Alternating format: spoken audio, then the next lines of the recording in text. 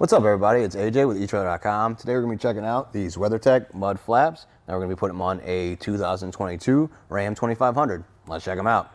Taking a closer look at the mud flap here, it's going to be great for keeping that gravel or dirt or whatever your tires are kicking up from hitting the bottom of your truck and ruining that.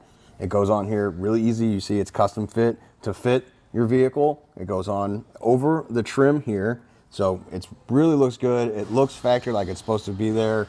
It's also sturdy molded plastic. You see it's not just a flimsy flap that goes back and forth in the wind, so you can hold up to bigger rocks and dirt. Now we talk about what they are and what they do. They're not too bad to install. It's just a couple screws. Follow and see how I did it. We're gonna start up with the front mud flap on the driver's side. Now they're all marked. So you just look here.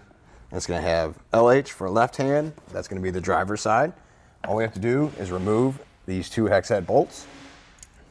So I got my ratchet here. Gonna loosen those up. And we're just pulling the bolts out, so don't remove the plastic piece behind.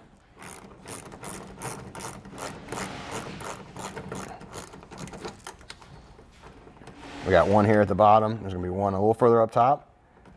We'll take both of those out. With those out of the way, we can put our new mud flap in place. You see it already has a section that's a cutout that's gonna go around this plastic piece and clip in. We're gonna set in place right there. If you come along to the back side, you can see how it fits the groove perfectly.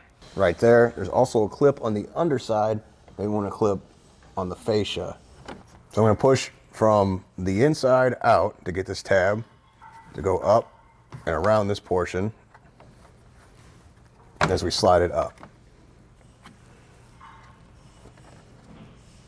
I suggest you could use a screwdriver if you want to pry it out a little bit more.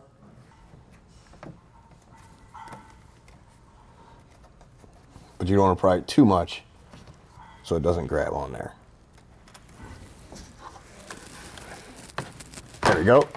Slid up into place. Then we'll replace our hex head screws. Now once we got both of these tightened down, do the same thing on the passenger side.